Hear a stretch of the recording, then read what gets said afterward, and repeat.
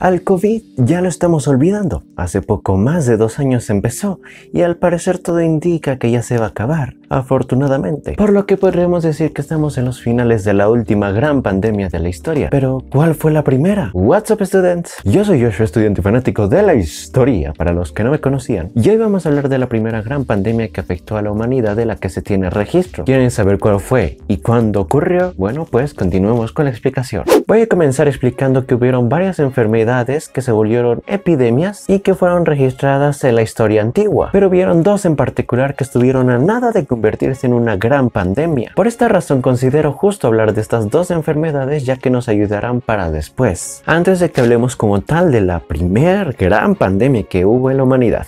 Así que comencemos. La primera fue una epidemia de la enfermedad de tuberculosis, la cual todavía sigue afectando a las personas en la actualidad, pero desde el siglo V Hipócrates señaló la tuberculosis tuberculosis como la enfermedad más mortífera que había en ese entonces. Y como digo, nunca se logró convertir en una gran pandemia. Y es que a lo largo de toda la historia hubieron muchísimos rebrotes, iniciando por la edad antigua. Y cada rebrote sí afectó significativamente a la población. Por ejemplo, hubo un rebrote en la Edad Media donde el médico Aurelio llamó a la enfermedad la gran plaga blanca y los enfermos eran desahuciados ya que prácticamente su muerte era inevitable. Y en el siglo XIX hubo otro rebrote pero ahora en Estados Unidos, la cual fue considerada como la primera enfermedad mortífera de la historia del país, de Gringolandia. La segunda epidemia fue la plaga de Atenas, que apareció alrededor del 430 antes de nuestra era, y quedó registro de esta enfermedad gracias a Túcides, que la describió en su libro Historia de la Guerra del Peloponeso. Esta plaga se propagó desde Grecia a Egipto, Etiopía y Libia. La plaga de Atenas, también conocida como la peste de Gina, era muy mortífera, provocando la muerte en solo los 7 días, debido a que provocaba una incontrolable diarrea. Muchos creen que era un tipo de tifus, pero no quedaron registros bacteriológicos consistentes como para comprobarlo. Ahora sí vayamos con el platillo principal de este video, que es la primer gran pandemia de la historia. Todos conocemos la pandemia de la peste negra que mató a media Europa en el siglo XIV, y si no lo conoces, aquí tienes un video. Pero lo que no muchos saben es que hace más o menos un siglo atrás de esa,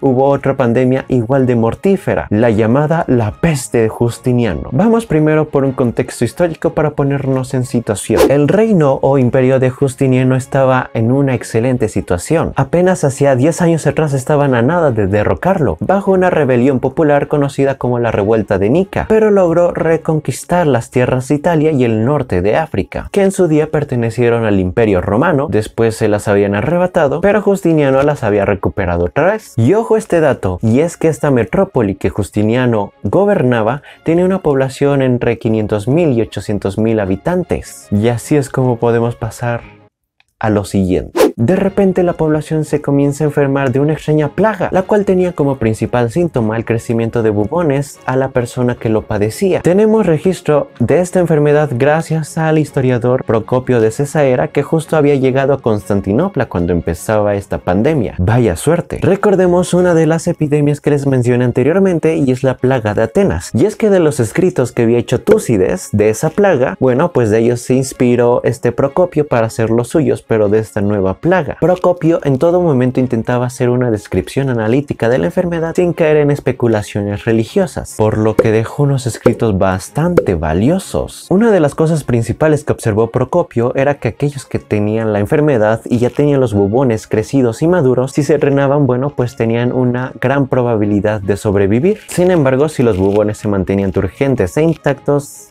pues la probabilidad de morir era mayor. Algo que también documentó Procopio es que esta enfermedad mataba entre 5.000 y 10.000 personas por día. Y tal vez aquí exagero y no era del todo real, porque si hubiese sido así, se acaba la humanidad. Pero esto reflejaba el pánico que se tenía sobre esta nueva y muy mortífera enfermedad. Constantinopla, como se es bien sabido, era una de las ciudades y metrópolis más importantes de ese momento, y todos sus cementerios estaban en las afueras de la ciudad. Pero cuando se descontroló la propagación de la enfermedad, las autoridades se vieron impotentes. Por esta situación, Justiniano requiso tumbas privadas para llenarlas a rebosar de cuerpos que habían sido amontonados en fosas comunes, pero aún así no fueron suficientes para deshacerse de todos los cadáveres. Entonces se comenzó a excavar en donde se pudiera, incluso se comenzaron a rellenar las torres de las murallas con los cadáveres. También se lanzaban por alcantilados esperando que las mareas los arrastraran y se hicieron otras tantas medidas desesperadas por deshacerse de todos estos cadáveres. Llegó un problema, que puede que no sea peor al que ya se estaba viviendo en esa situación con la enfermedad, pero tampoco lo hizo más agradable. Es que cuando el viento soplaba,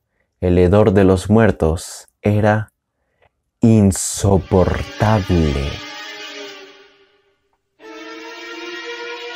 ¡Ay Dios! En esta pandemia del COVID, muchos lugares muy concurridos como lo eran las calles de Nueva York se vieron vacíos cuando inició la cuarentena. Y algo similar ocurrió en esta pandemia de Justiniano. Era la Vía Mese, la arteria principal de Constantinopla con 25 metros de ancho. Esta vía atravesaba toda la ciudad y siempre se veía muy concurrida por tiendas, las cuales vendían cualquier tipo de mercancía bajo los grandes pórticos. Y claramente concurrida también por muchos compradores. Pero en esos días se dice que estaba tan vacía que traía una verdadera imagen apocalíptica, donde la población humana ya había desaparecido totalmente, porque ningún alma, ningún ser humano pasaba por esa vía. Llegamos a una parte muy increíble de esa historia, y es que el propio emperador Justiniano cayó enfermo de esta enfermedad. De manera muy grave, comenzando a circular el rumor de que ya no la contaba y había que ir buscando otro emperador. En aquella situación, su esposa, la emperatriz Teodora, acusó a los generales Buses y al gran Belisario de conspirar contra su esposo para hacerse del trono. Y entonces, utilizando las mismas palabras de ese momento, hubo un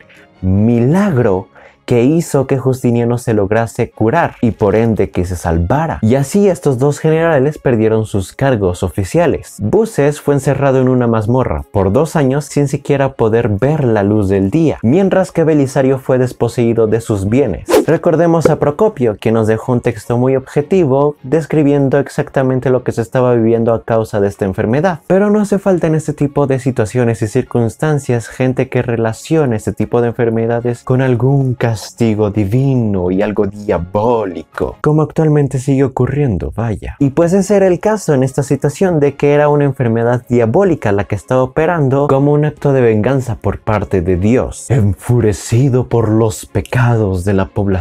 Y es así como se llegó a recurrir a magos que preparaban ungüentos con polvos procedentes de los sepulcros de los santos. Incluso hay una anécdota protagonizada por el historiador y obispo Gregorio de Tours que se dijo que había curado a un muchacho que le había hecho beber agua en la que había mezclado cenizas extraídas de la tumba de San Julián Mártir. Ah. Si no murió por la enfermedad, moriría de una infección cañoncísima. Y así la enfermedad causaba entre la población miedo e histeria. Muchos gritaban desesperadamente que solo la intervención de los apóstoles podían salvar la ciudad. La gente se comenzaba a refugiar en las iglesias donde morían por montones. Llegando por el final de esta enfermedad, solo queda decir que se terminó expandiendo a Etiopía y Egipto en el año 541. Desde ahí remontó la costa de Levante y al año siguiente devastó Gaza en el año 542 atacó Jerusalén, Antioquía y muchas más ciudades del Imperio Bizantino. ¡Wow! Cambio de iluminación. Y ahora pasemos a las consecuencias.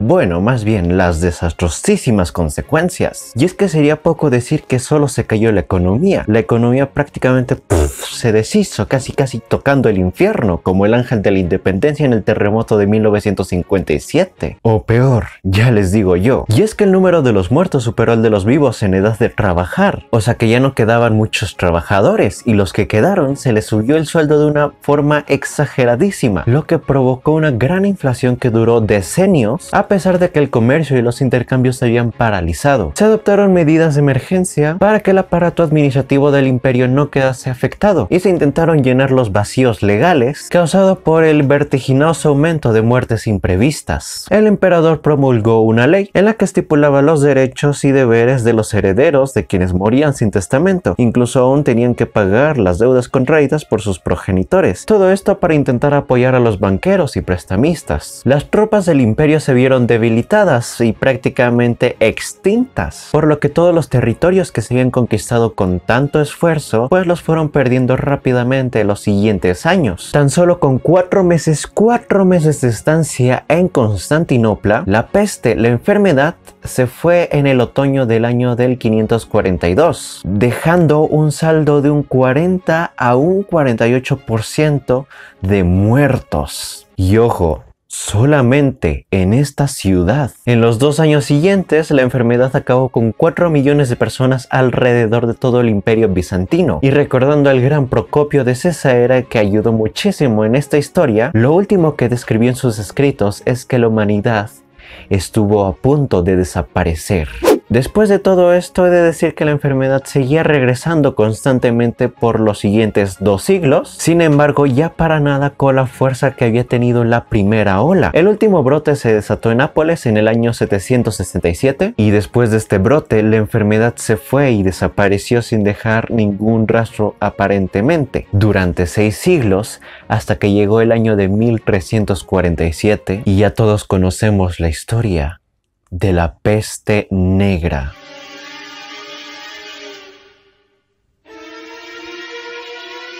Muchos historiadores creen que por el evidente debilitamiento del imperio bizantino debido a esta enfermedad, es como los reinos bárbaros lograban expandirse por toda Europa, dando así por terminada la era de la antigüedad e iniciada la Edad Media. Vaya, esta pandemia fue una línea divisoria entre dos etapas de la historia, algo muy curioso porque la peste negra después también fue una línea divisoria entre la Edad Media y el Renacimiento, recordemos. Hemos llegado al final de esta historia algo muy curiosa, la que es considerada la primer gran pandemia que afectó a la humanidad. Y espero que hayan aprendido algo nuevo y si fue así, ya saben que me pueden apoyar dejando su like, su suscripción y activando la campanita para no perderse ningún nuevo video. Se los agradecería demasiado. Por esta semana sería todo, nos vemos en un próximo video.